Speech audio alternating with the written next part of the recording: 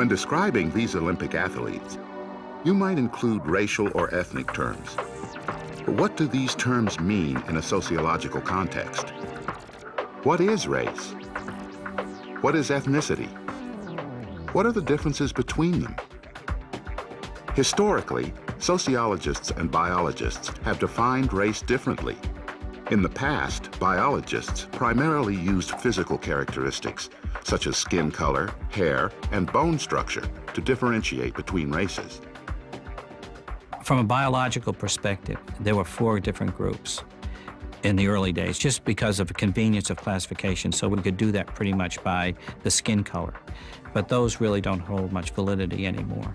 We're all going to be, we're going to be looking at DNA molecules, and that's what's going to define who we are and how closely we're related to people.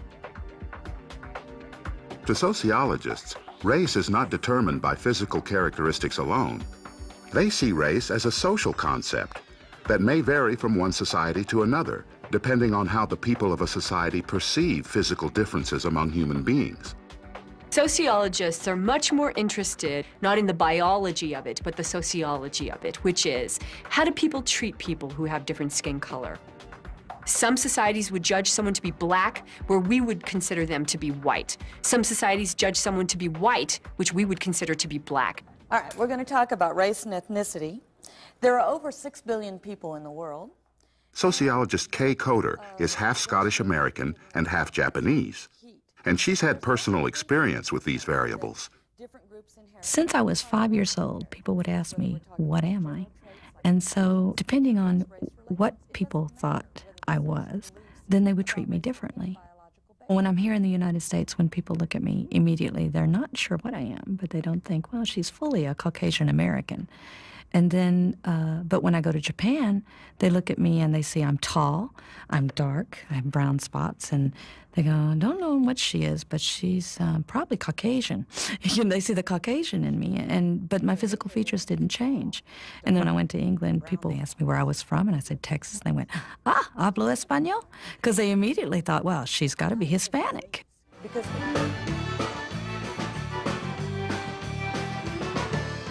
Although race is a social concept, ethnicity is different. Ethnicity is based on a shared cultural identity, such as that shared by Cajuns in South Louisiana, and can be accepted or rejected by an individual in the group. Sociologists define ethnicity as cultural characteristics that are shared within certain subgroups Race typically is concerned with biology, physical characteristics, heredity, traits, etc., whereas ethnicity is much more interested in culture, foods, languages. Racial and ethnic differences may produce stereotypes, prejudice, discrimination, and racism. Sociologists define stereotypes as behaviors or tendencies that are attributed to an entire group Members of the group are thought to possess those particular characteristics simply through their membership in the group. A stereotype is an exaggerated image of a group that still remains after contrary evidence has been given.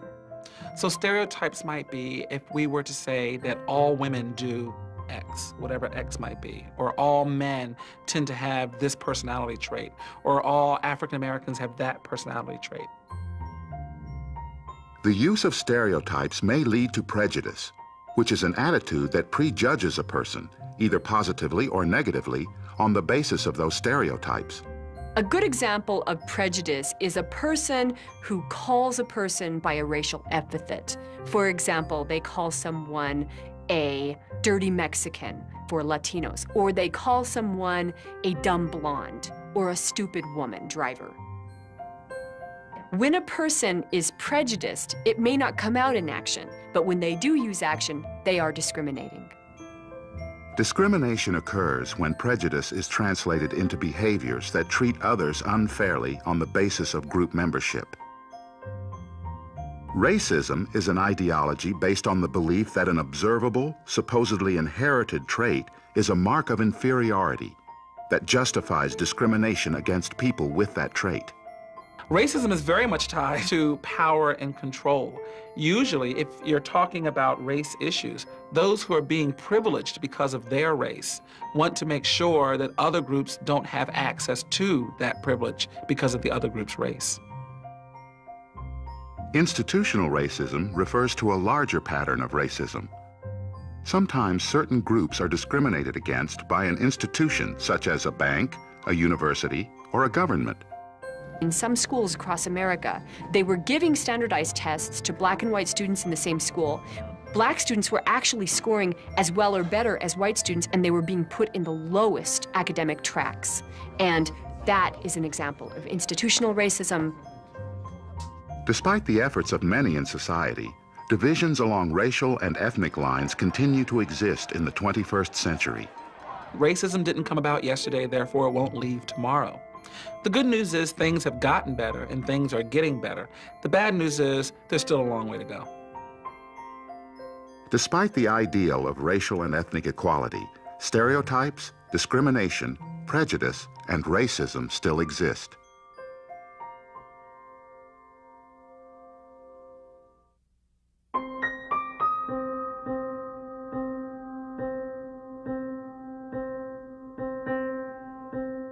How can we begin to understand the concepts of race and ethnicity? One way is to explore them using the sociological perspectives, functionalism, conflict, and interactionism. From the functionalist perspective, racial and ethnic differences exist because they serve important functions for a particular society. In Nazi Germany, for example, Hitler fostered anti-Semitism for a reason. Prejudice served an important function in his regime by creating a scapegoat for the frustrations many Germans felt after World War I. The functionalist view of society is that you need some kind of bonding experience for the group. And in Hitler's Germany, the use of scapegoats, the use in particular of gypsies, Jews, any of a number of persons who could be seen as the enemy of the pure Aryan race became the rallying cry for getting the German people to see themselves as having some kind of unitary or community experience. The conflict perspective examines race and ethnicity in terms of economic and political power. Conflict theorists believe that racism is about ongoing exploitation of people of color that goes back all the way to slavery and the inception of the country. According to this perspective, those with power use race and ethnicity to create intergroup conflict that will work to their advantage. This was especially true in labor disputes during the Industrial Revolution. When workers got together to try to form unions, the industrial giants, uh, the owners of the factories, would sometimes fire them and bring on other people to take those jobs, producing resentment and conflict.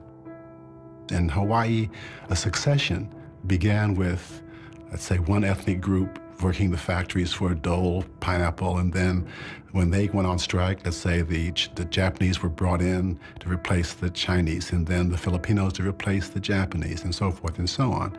So you get a succession of ethnic conflict and the replacement as a function of a managerial strategy to keep the workers from forming a unitary force.